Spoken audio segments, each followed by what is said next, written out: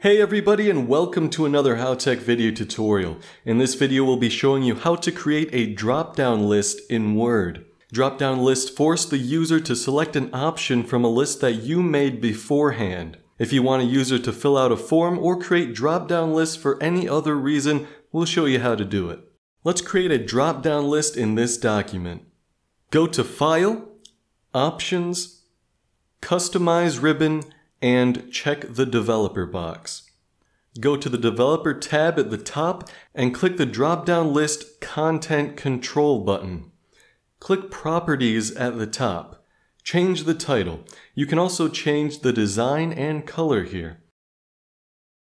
Remove the default list item and add the ones you would like the user to choose from.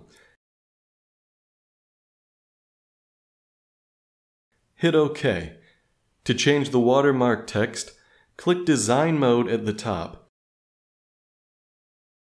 In Design Mode, you can also delete the content control by selecting it and pressing Delete or Backspace. We now have a content control with a drop-down list.